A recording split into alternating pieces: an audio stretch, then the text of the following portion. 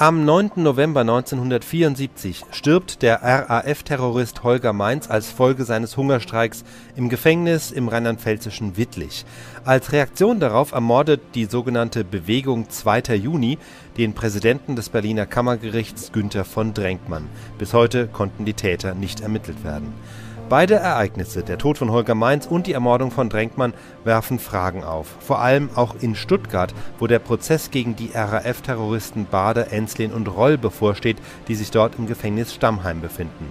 Die Sendung Südfunk aktuell befasst sich damit in der Mittagssendung am 11. November. Das Attentat von Berlin, meine Damen und Herren, wirft natürlich die Frage auf, wie steht es eigentlich mit der Sicherheit der Staatsanwälte und der Richter hier im Stuttgarter Raum, die im kommenden Frühjahr möglicherweise schon mit dem sogenannten Bader-Meinhof-Prozess befasst sein werden. Siegfried Kasper hat sich danach erkundigt. Herr Kasper, wie schaut es eigentlich aus? Nun, die Richter und die Staatsanwälte, die mit dem Bader-Meinhof-Prozess befasst sind, die werden ja schon lange besonders überwacht von der Polizei. Äh, nach diesen Vorfällen in Berlin und auch mit dem Zusammenhang mit dem Tode von Holger Mainz werden sie noch verstärkt bewacht. Vor allem natürlich der mhm. Vorsitzende Richter Dr. Äh, Prinzing.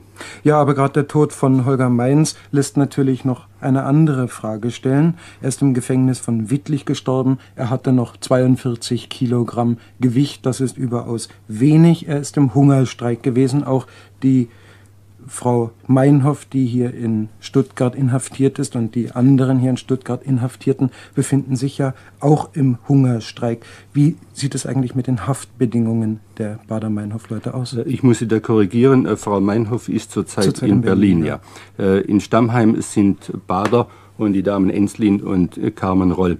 Und äh, beide sind ja im Hungerstreik und werden künstlich ernährt. Ich habe heute vom Justizministerium erfahren, dass sie offensichtlich so gut künstlich ernährt werden, dass einer der Damen um sechs Pfund zugenommen hat. Man muss allerdings dazu sagen, dass äh, das Gewicht vom Hungerstreik ausgeht.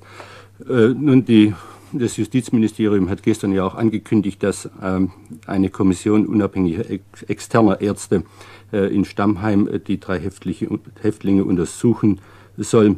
Die Ärzte werden heute oder morgen dorthin gehen, aber von einer Untersuchung kann keine Rede sein. Die Häftlinge lehnen ja jede Untersuchung ab. Es wird also auf eine Besichtigung des Zustandes dieser Häftlinge herauslaufen. Dankeschön, Herr Kasper.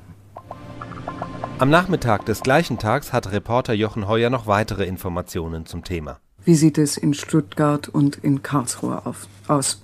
Diesen Fragen ist Jochen Heuer nachgegangen. Was man hier im Einzelnen tut, auf wen sich insbesondere die verschärften Sicherheitsmaßnahmen richten, dürfte im Detail wohl nicht zu erfahren gewesen sein. Man kann aber vermuten und vielleicht die Gewissheit erlangen.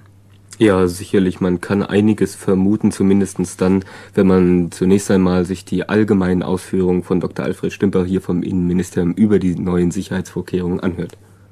Äh, die Situation ist so, dass wir, äh, nachdem wir den Bader-Meinhof-Prozess im Lande haben, schon seit geraumer Zeit umfangreiche äh, Personen- und Objektschutzsicherungsmaßnahmen laufen haben. Und es ist klar, dass der Anschlag auf Drängmann uns veranlasst hat, sofort noch eine weitere Verdichtung dieser bereits umfangreich eingeleiteten Sicherungsmaßnahmen durchzuführen. Und zwar dazu hat heute Vormittag schon eine Besprechung äh, stattgefunden, wo die verschiedenen davon betroffenen Dienststellen beteiligt waren und die ersten Maßnahmen äh, sind bereits eingeleitet. Dass wir keine Details sagen, welche Personen wir verdeckt oder und äh, uniformiert überwachen, wo wir Hundeführer oder besondere Waffen einsetzen, wo wir einen Personenbegleitschutz geben, in welcher Form und so weiter, das ist klar. Jedenfalls werden wir massive arbeitsmäßige und personalmäßige Opfer bringen, um einen ganz gezielt verdichteten Schutz herbeizuführen.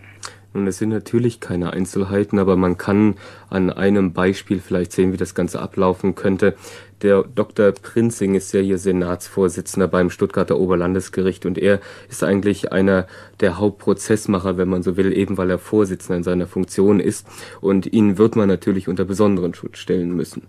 Die Rote Armee-Fraktion hat aber ebenfalls angekündigt, dass sie versuchen werde, die Häftlinge zu befreien. Das wären hier in Stuttgart Stammheim, Enslin, Meinhof und. Nein, Meinhof nicht. Meinhof sitzt inzwischen in Berlin-Bader ja, und Carmen Roll. Mhm. Die drei sitzen ja. hier ein.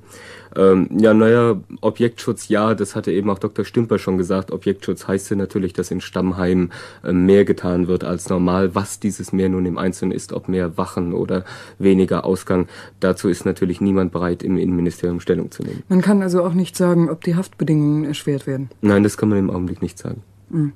Ist die für heute vorgesehene ärztliche Untersuchung durch ein unabhängiges Ärzteteam erfolgt?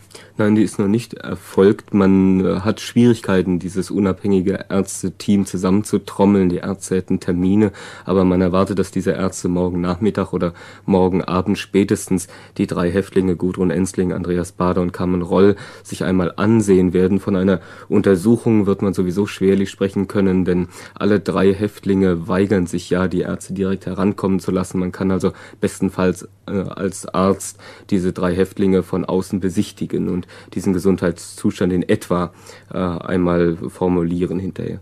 Das wären also die Folgeerscheinungen des Todes von Holger Mainz. Der zweite Strafsenat des Landgerichts Stuttgart hat ebenfalls zu diesem Fall Stellung genommen. Ja, er hat natürlich Stellung von, genommen und zwar vor allen Dingen gegen das, was Dr. Crosson, der Verteidiger, gesagt hat. Und man meinte beim Strafsenat, die Vorwürfe seien also ungerechtfertigt, vor allen Dingen was Holger Mainz angeht, denn er habe in günstigeren Haftbedingungen gelebt, er habe nicht ein so hohes Sicherheitsrisiko bedeutet. Im Übrigen äh, würde dieser zentral gesteuerte Hungerstreik selbst den Häftlingen schwere Schäden zufügen und sie würden sich selbst in Todesgefahr bringen. Niemand habe sie ja gezwungen, äh, sich der Nahrung zu entziehen und äh, alles sei nur Selbstzerstörung und Rechtsanwalt Dr. Cronson würde jetzt noch zu einer Verschärfung eigentlich äh, auffordern, wenn er sage, öffentlich bekannt gebe, dass die Häftlinge nun auch möglicherweise in den Durchstreik treten könnten und das sei alles eigentlich unverantwortlich. Im Übrigen seien die Vorwürfe der Isolationsfolter natürlich eine böswillige Irreführung, aber vielleicht sollte man noch eines zu der Gesundheitssituation dieser drei Häftlinge hier in Stuttgart-Stammheim sagen.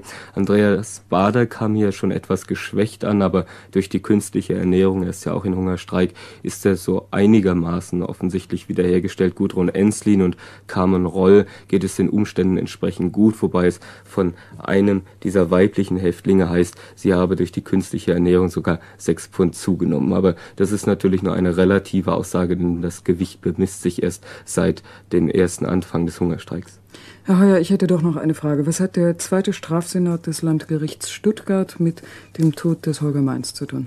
Nun, er hat im Prinzip nur damit zu tun, weil er hier die Verhandlungen in Stuttgart dann im Bader-Meinhof-Prozess führen wird. Und mhm. das Aber nicht die Untersuchungshaft des Holger Mainz an sich? Nein, er ist ja in Wittig, das äh, liegt in der Eifel, mhm. äh, ist er untergebracht gewesen. Und insofern hätte man nichts direkt damit zu tun, aber weil man nun halt Strafsenat hier ist und mit dem Bader-Meinhof-Prozess betraut ist, hat sich sich Dr. Croissant direkt an diesen äh, Strafsenat gewandt und vor allen Dingen an den Senatsvorsitzenden Dr. Prinzing und er hat ihm heftige Vorwürfe gemacht. Er habe ihn am Samstag benachrichtigt. Nun, auch das hat alles Dr. Prinzing heute zurückgewiesen. Er habe am Samstag zum ersten Mal davon erfahren, dass es Holger Mainz sehr schlecht gehe und er habe dann alles Mögliche veranlasst, aber Holger Mainz sei nicht mehr zu retten gewesen. Schönen Dank, Herr Holm.